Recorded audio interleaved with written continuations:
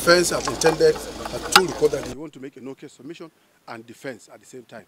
So the court has adjourned the case to the 25th of May for that purpose.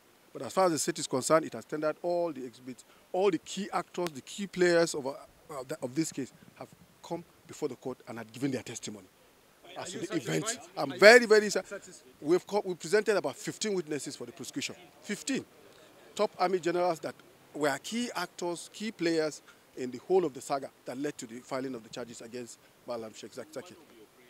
One of our prayers is that the court should overrule the no-case submission, overrule the defense and convict the defendants accordingly and pass the necessary sentence as provided for in the law. Uh, they eventually called their last witness today.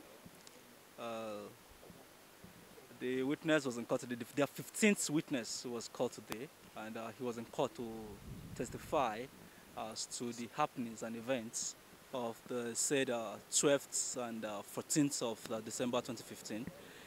Uh, most of the, I don't want to go into the fact of the matter, but he was in court to testify, and uh, the, the the state eventually closed their case today.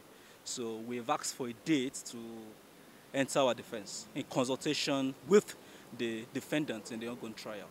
Uh, most likely and most appropriately, we'll, we'll be consulting with the clients and uh, entering a no case submission okay. for the defendants. There has been no case submission so far. What we filed earlier on was a motion to quash the charge before the commencement of trial. Uh, but at this stage, the state has indeed called their witnesses. And it is in our view that there is no case so far established against the defendants. So we will be filing an application to ask the court to declare that the, the defense do not really have to call witnesses in the ongoing trial, but to have them enter no case submission. Because so far, based on the evidence advanced thus far, all the 15 witnesses so far, in our estimation, has not made any submission or, or giving any evidence that incriminates the defendant in any manner whatsoever.